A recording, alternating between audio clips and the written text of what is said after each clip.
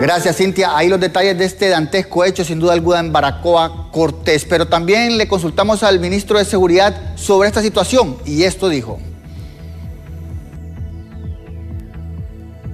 Un incidente lamentable con características del eh, crimen organizado en un sector de Baracoa Cortés y ya se están movilizando equipos especializados para iniciar las diligencias investigativas en torno al caso. En caso de las muertes múltiples generalmente tienen que ver con el crimen organizado. Ahí miramos cinco personas que por la posición que se encuentran en la escena del crimen, imaginamos que la llamaron eh, eh, y ahí las ajusticiaron. En ese sentido, pues eh, la Dirección Policial de Investigación tiene que emplearse totalmente en la investigación de este flagelo.